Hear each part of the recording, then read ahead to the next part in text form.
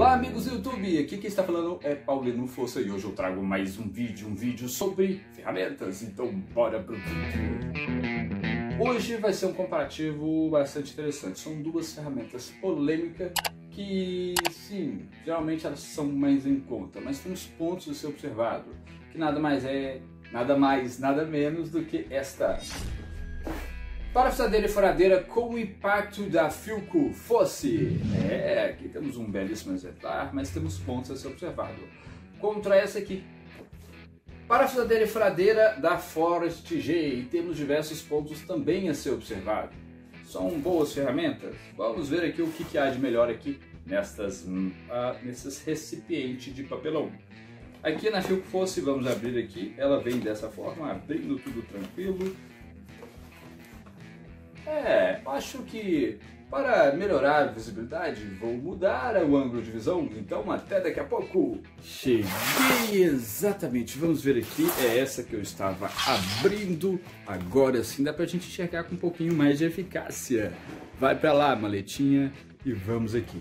Tirando a Filco fosse, vamos lá ver dessa forma aqui, legal né? Bom, Vem aqui, lá dentro vem o carregador e aqui temos uma bateria. Carregador fico fosse, aqui temos um indicativo, né, para mostrar quando que ela está carregada. Temos pontos a ser observados, né? lembrando que eu já tenho essa máquina há algum tempo e essa aqui eu tenho há pouco tempo, então eu posso falar com bastante precisão daquela máquina. Mas vamos lá? Modifiquei a câmera um pouco para a gente olhar com mais eficácia essa ferramenta. Ali está de um carregador bivolts aqui da Filco Force. Lembrando que ela vem com manual. Vamos ver essa outra aqui. Abrindo a Forte G, ela vem igualmente, vem com, com a ferramenta, a bateria e o seu carregador, que é Monstro 1. Olha o tamanho, mas será que ele faz alguma coisa a mais? Não, é o mesmo sentido. E aqui temos o indicador de quanto está carregado. Legal. Vamos ver aqui a ferramenta. Beleza.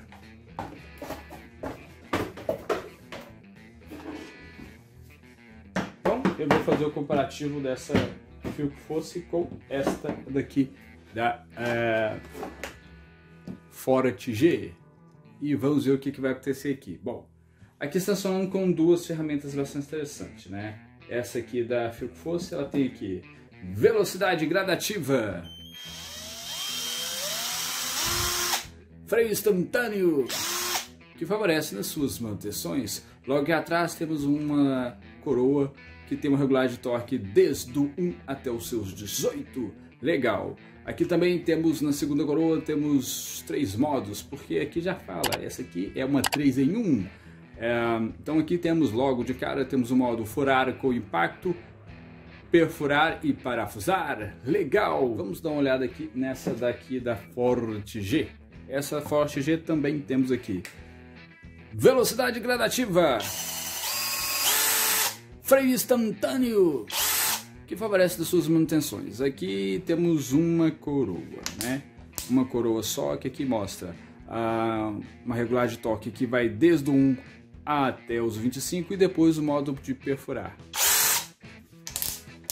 Exatamente. Bom, vamos ver alguns detalhes aqui dessas duas ferramentas. Vamos na fio que fosse a Filco Force temos aqui o esse mandril e esse mandril é de 3 oitavos, que consegue colocar broca até 10 milímetros de espessura e isso favorece bem. Mas quando estamos falando aqui nada forte, as coisas mudam. Aqui estamos falando de um mandril de meia, que consegue colocar broca até 13 milímetros de espessura. Legal, hein? Vamos ver mais alguns detalhes aqui. Vamos no da Filco Fosse? Aqui temos, uh, essa Filco Fosse temos aqui em cima um duplo RPM, que no primeiro estágio é de 0 a 500, já no segundo é de 0 a 1500 por minuto, e isso favorece bem. Ela tem aqui um motor bastante interessante, esse motor tem um Newton de 16,5 de torque, então favorece dependendo das suas manutenções. Agora vamos ver o da Ford G O da Forest G também modifica um pouco. Aqui temos duplo RPM também, só que aqui falando no primeiro estágio, estamos falando de 0 a, 1000 a 0 a 550 por minuto. Já no segundo é de 0 a 1850 por minuto. É, que legal! Aqui também temos diferenciais. Nessa da Forte G estamos falando de newtons, de 80 newtons. Bastante interessante, é uma ferramenta toda emborrachada na parte superior. Aqui temos design estratégico e aqui na empunhadura também todo emborrachado e aí temos os desníveis que favorece. Aqui na da Filco Fosse também temos uh, uns desníveis que favorece, borracha na traseira, igual aquela para trazer precisão, que favorece também, só que as coisas mudam, né? Já que falamos dos motores das duas, a Filco Fosse estamos falando de um motor composto por escovas, né? Escovas de carvão, que é é uma boa tecnologia, mas temos tecnologias mais avançadas hoje em dia, que nada mais nada menos do que ferramentas Brushley. Aqui temos um motor sem escova de carvão com a tecnologia Brushley. Legal, né? Bom, mas temos pontos que eu vou deixar pro final. Vamos falar mais um pouco sobre essas brezocas aqui e não perder nenhum detalhe. Bom, na bateria da Filfosse estamos falando de uma bateria de 1.3, né? Uma bateria em 12 é, volts, 1.5 mAh, mostrando aqui 1.5, legal, né? É, é o que está falando. Vamos na da Forte G. A da Forte G estamos falando de uma bateria de 18 volts, uh, 1.5 ampere também. É bastante interessante. 1.5 ampere. Essa é Max Lithium. Então vamos lá. Também essa também é de lítio. Mostrando aqui. Também é de lítio. Então vamos com alguns pontos aqui. Essa aqui da Filco Fosse temos um LED que auxilia. Esta da Forte G também. Só que vai ficar uns minutinhos aceso para você fazer alguma manutenção estratégica. Mentira que é segundinhos, não vamos confundir. Vamos ver, vamos comparar as duas aqui?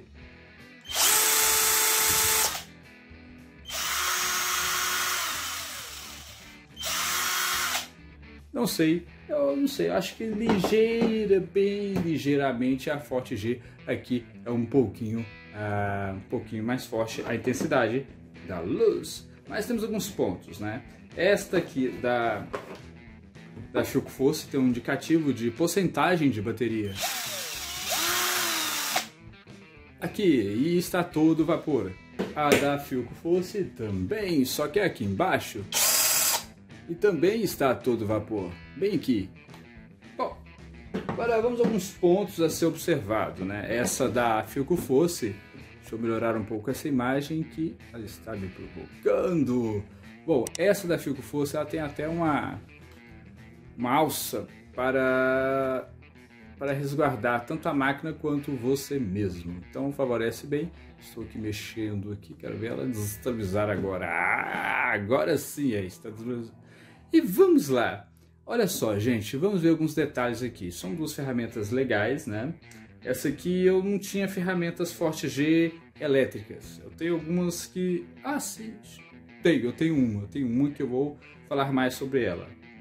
Bom, e eu tenho aqui, essa é minha primeira Filco Fosse, né?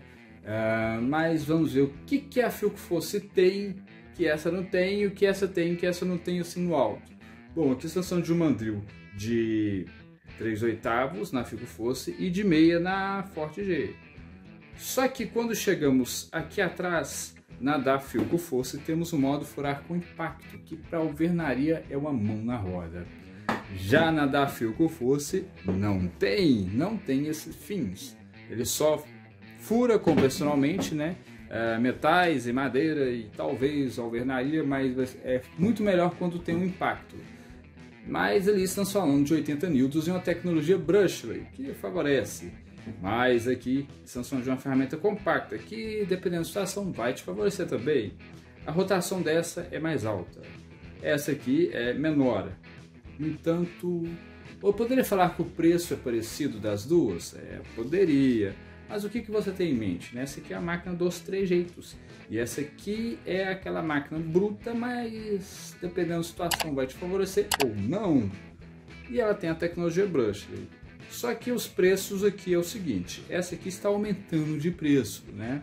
Então ela já não é aquela a Brushley mais barata. Então aqui ela não é mais barata. E aqui a Phil Force é uma, uma das ferramentas em conta, assim dizendo. Então é isso aí. O veredito eu vou deixar para vocês. Se vocês gostaram desse vídeo, quer mais vídeo como esse, largue um joinha, se inscreva, compartilhe, deixe o sininho ligado que vai fazer toda a diferença. Obrigado, fiquem com Deus e até a próxima. Que tá uma discoteca, né? Mas é isso aí. Fui!